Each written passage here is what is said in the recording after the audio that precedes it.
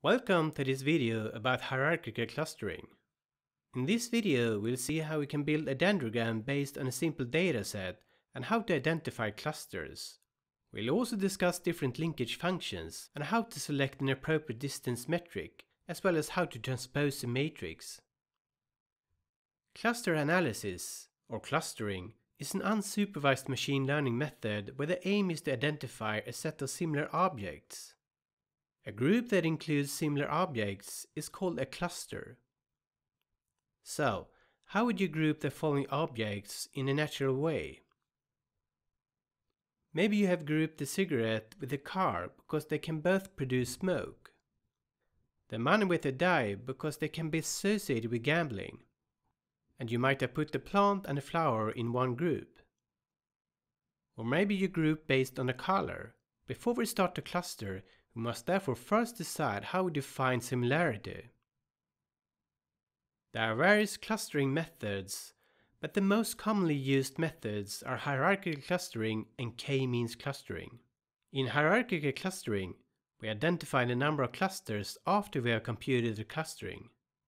In comparison, the k-means clustering requires that we first specify how many clusters the method should generate before we run the actual analysis.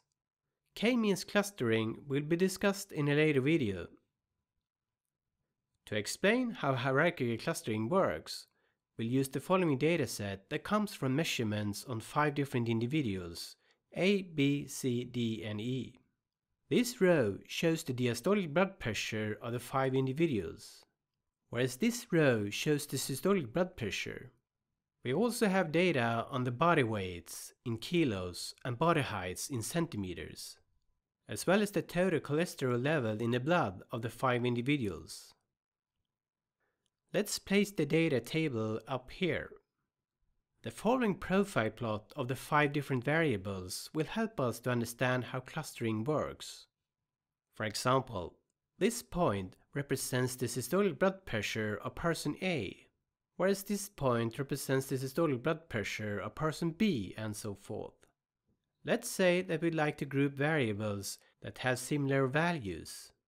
For example, it seems reasonable to group the total cholesterol level with body height and the variables body weight and diastolic blood pressure because these pairs of variables have similar values.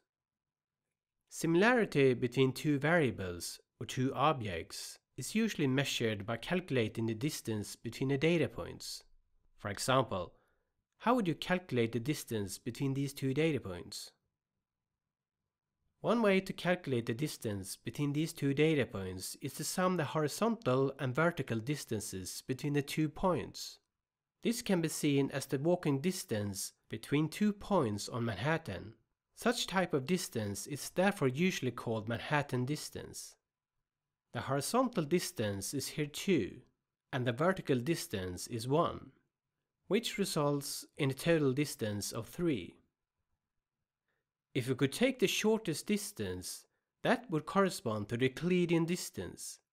This is the same calculation we would use to calculate the longest side of a right triangle. The Euclidean distance in this example is about 2.24.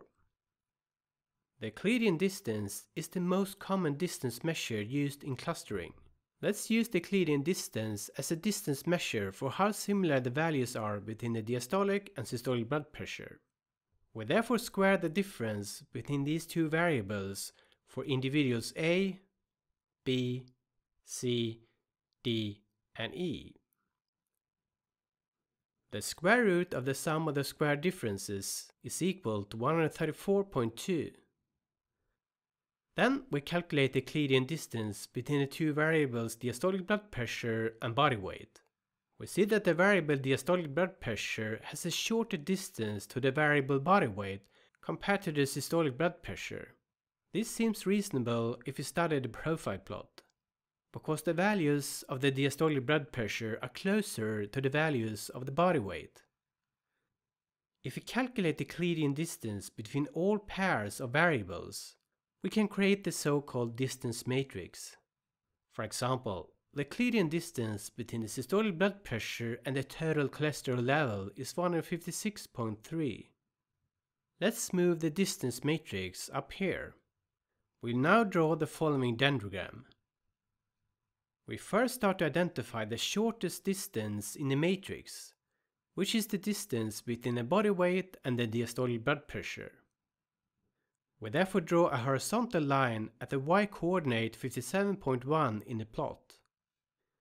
The next shortest distance is between the body height and the cholesterol level. Next, we need to figure out if the systolic blood pressure is closer to this cluster or this cluster. The mean distance between the systolic blood pressure and the two variables in this cluster is 109.7, whereas the mean distance to the two variables body height and cholesterol is 128.3. We therefore cluster the systolic blood pressure with the body weight and the diastolic blood pressure because the mean distance is shorter to this cluster. Note that the y-coordinate of this horizontal line should therefore be equal to 109.7. Finally, we connect the two clusters. The y-coordinate of this horizontal line is the mean of the distance between the body height and the three variables in the other cluster, and the distance between the cholesterol variable and the three variables in the other cluster. So, how do we interpret this dendrogram? Since the branch that connects these two variables are at the bottom of the dendrogram, we know that these two variables are the most similar out of all possible pairs. We also see that systolic blood pressure is more similar to this cluster than the cluster involving the variables height and cholesterol level. However, Note that the ordering of the leaves in this dendrogram is irrelevant. Although the systolic blood pressure is ordered so that it is put next to the diastolic blood pressure, this does not mean that it is more similar to this variable. The systolic blood pressure is in fact closer to the body weight if we study the distance matrix. Most software tools order the leaves to make a nice dendrogram. The ordering of the leaves is therefore irrelevant unless your software orders the leaves in a certain way. Once we have generated the dendrogram, we can identify interesting clusters. If we set an arbitrary cutoff line at for example 150, we see that we have grouped the five variables into two clusters. And if we set a cutoff at about 100, we will group the variables into three different clusters. The cutoff value that we select will determine how many clusters we will generate. The cutoff value is determined by the user and depends on how many clusters the user wants to identify. Remember that we previously determined that systolic blood pressure should form a cluster with the two variables diastolic blood pressure and weight because the mean distance to that cluster was shorter compared to the other cluster. However, we could instead have used the median value, which in this case would give the same result because we only have two numbers. The measure that we use is called linkage function. Another way is to use the so-called single linkage function, where we check the minimum distance to the clusters. Since the shortest minimum distance between the systolic blood pressure and the variables in the two clusters is to the body weight, the variable systolic blood pressure would still group the second cluster. Another option is to use the so-called complete linkage function, where we check the maximum distance to the clusters. Since the shortest maximum distance between the systolic blood pressure and the variables in the two clusters is to the diastolic blood pressure, the systolic blood pressure would again group with the second cluster. Note that the height of this part of the dendrogram now represents the maximum distance, which is 134.2. There are a number of different linkage functions to select between. You can try many different functions and select the one that generates the dendrogram that makes most sense according to the aim of your study. Another way is to use some sort of validation technique where the linkage function that for example generates the most robust cluster is selected. In addition to different linkage functions, it is important to select an appropriate distance metric that reflects how we define similarity. In the previous example, we grouped for example the variables body weight and diastolic blood pressure because they had similar values. However, it might make more sense to group the diastolic blood pressure with the systolic blood pressure because these two variables have similar patterns across the individuals. If one individual has a high systolic blood pressure, the same individual is likely to also have a high diastolic blood pressure. The same is also true for the body weight and body height. One way to group the variables based on similarity in their pattern or profile is to first standardize the variables so that all variables have mean of 0 and a standard deviation of 1.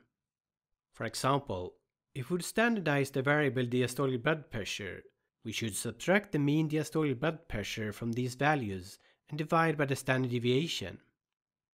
Standardizing this variable results in values that have a mean of 0 and a standard deviation of 1.